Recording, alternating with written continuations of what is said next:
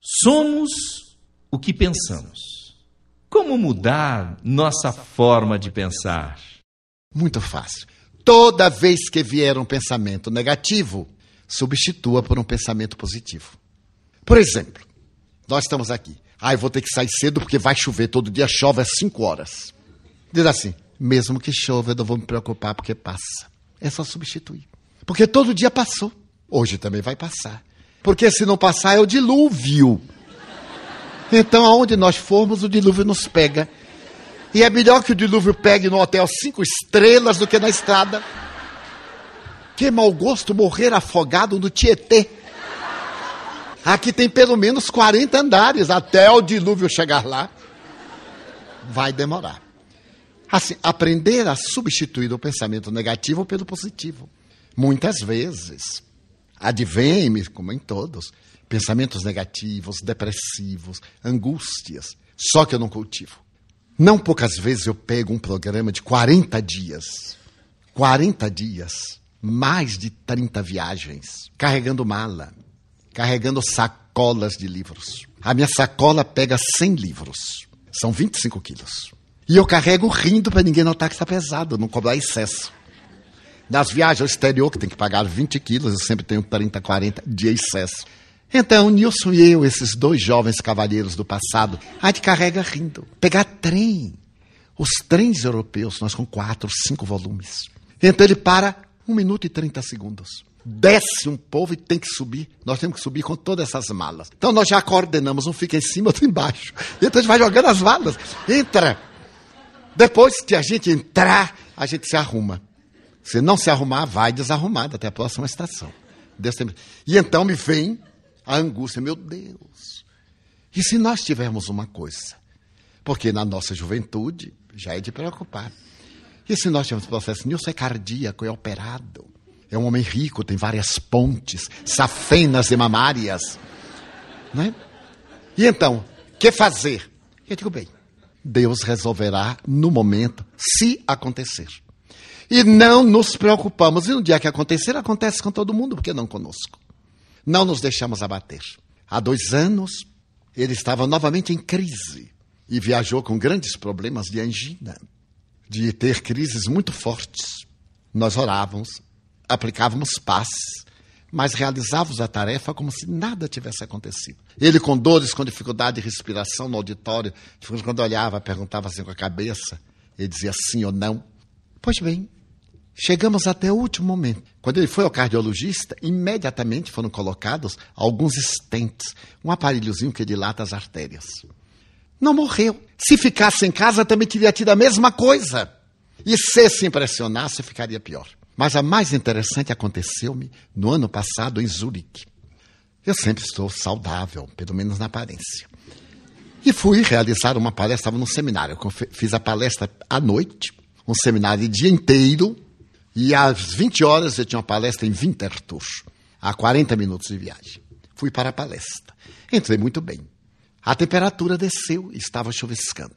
Quando eu saí do salão, eu disse: engraçado, estou com febre. Porque senti.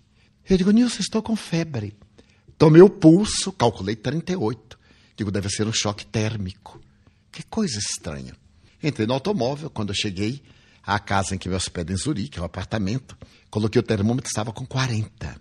Eu digo, mas que coisa. Não estou sentindo nada. Eu vou tomar um antitérmico. E então tomei um antitérmico. Mas a noite foi muito difícil. Adveio-me dor de cabeça. E digo, mas o que pode ser? Dor de cabeça, febre. Pela manhã, eu meditei. Tinha um seminário de dia inteiro. Estava trêmulo de febre. Eu digo, não vou demonstrar. Porque isso não é pior. Um pergunta, outro pergunta, outro pergunta, e quer que preste atenção ao seminário. Bom, vou para o seminário. Na hora que eu ia saindo, eu disse, olha, eu vou tomar tal produto. E tomei. E então uma vozinha me disse assim, com dengue, hein? Eu me tinha contaminado e estava infestado ao oitavo, décimo dia que eu tinha saído do Brasil.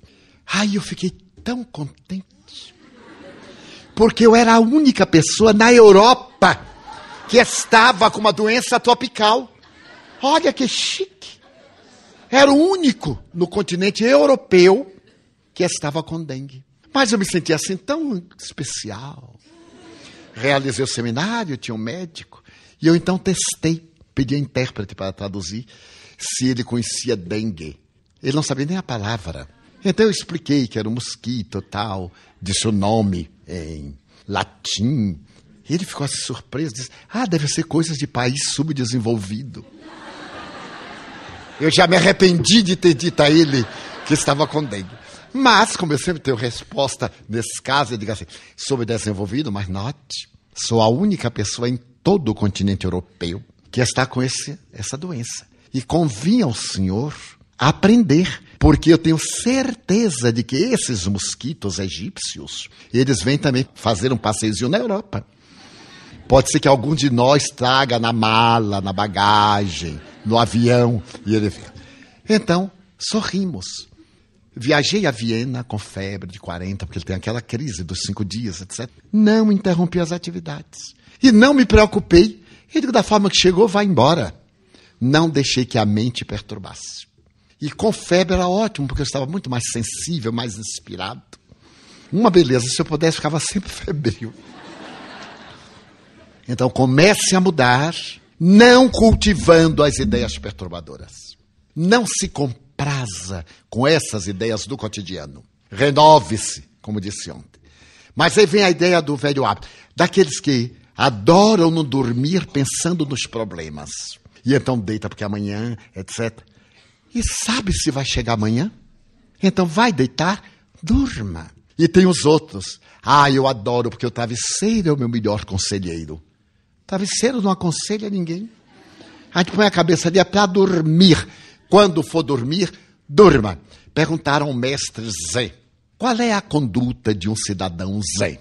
Ele disse: na hora que tiver fome, comer. Na hora de falar, falar. Na hora de calar, calar. Na hora de dormir, dormir. Você disse: nossa, mas não é assim que faz qualquer pessoa? Não. A maioria que não é zen, na hora de falar, cala. Na hora de comer, conversa. Na hora de dormir, pensa. E na hora de calar, fala. Porque não tem consciência. O Zen tem consciência. Cada coisa no seu lugar. Cada momento com seu momento. Então, agora que é hora de mudança, renove-se. Eu recebi uma sugestão fantástica. Falei ontem que a nossa avaliação seria em janeiro. Lembram-se? Como estarei no mês de janeiro, etc. A pessoa me disse que na hora que estava avaliando, disse, ai meu Deus, mas logo em janeiro que o Edivaldo foi colocar, janeiro tem que pagar o IPTU, tem que pagar isso, tem que pagar a matrícula de criança. Ele aí antecipou para dezembro, que era o mês de Natal, que é um mês muito bom. Então antecipe para dezembro. A avaliação. Porque dezembro não é mês de pagamento, é mês de abrir dívidas para pagar em março, viu? Então, por favor, quem programou, como é que eu estarei em dezembro, porque não terá preocupação.